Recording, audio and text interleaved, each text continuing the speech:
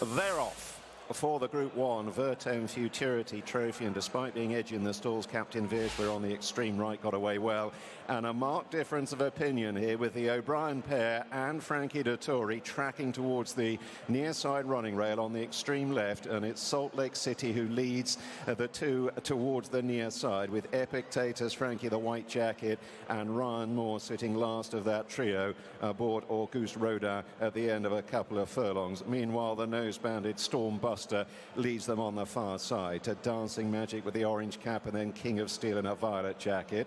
Holloway Boy held up in the first time visor, the red and white silks, uh, just waiting in the wings. And on the extreme right, Captain Virchber with his flashy white face. So split by the width of the track here. They move to halfway in the Vertem Futurity. On the left, it's Salt Lake City, slipstream by Epictetus. Orion Moore sitting in behind, sitting at Frankie's quarters aboard Auguste Rodin. The far side cluster just beginning to fan out a little. Still the nose-banded Stormbuster a dancing magic. Captain Virchber ridden along. Holloway Boy breezing into it in the headgear. And Holloway Boy is the first to commit outside the two. He's kicked on here. Now Ryan Moore sends Auguste Rodin on the left out after him. So Holloway Boy just beginning to wander off a true line. Wants a bit of company. Auguste Rodin on the near side ahead of Epictetus. Holloway Boy's drifted right across to the near side, but he can't match Auguste Rodin, who's beginning to forge clear.